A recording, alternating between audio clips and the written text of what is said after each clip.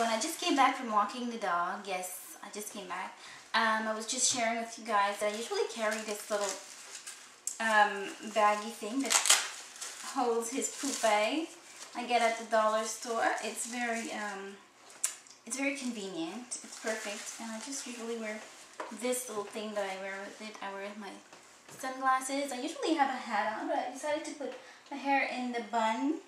Uh, it's in that um, soft bun thing and there and I'm just going to show you guys the recent things that I've been purchasing.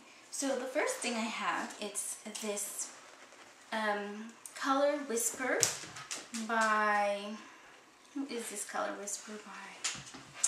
I don't remember who's it by. But the color is Orange Attitude and I did I did a swatch before and my dog was trying to eat it. Actually, I'm gonna show you. I don't know if you can see that swatch, but that's the swatch right there. It's gorgeous orange. However, on my um, lips, it doesn't show quite as orange as I would like it to. It's just completely different.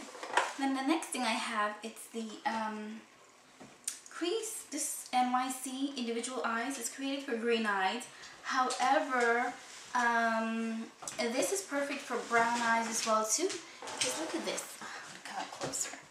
There, it's like all these amazing colors that I really like. Um, and it reminds me of a, like a mini Urban Decay um, palette, which is what I really like about this. Um, the next thing I have, it's this Essie um, nail polish, and it's in the color purple. Well, it's like purpley, the color purple. Um, it's Bond with Whomever.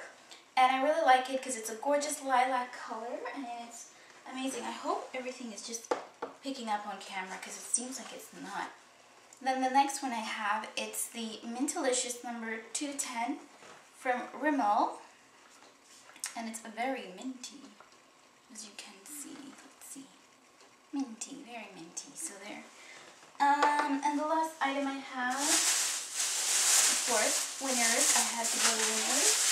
Um, and it's these sandals. Um, they're actually, it's very light.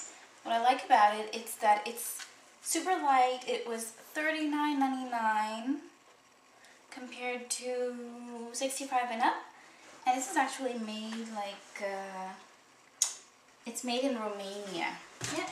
So that's it. That's my things I like to share with you guys. I hope you guys liked and enjoyed and I will talk to you guys next time. Bye. It, it's just a plain tank top. My Nike shorts, it's the Dri-FIT one. And my Nike shoes that I walk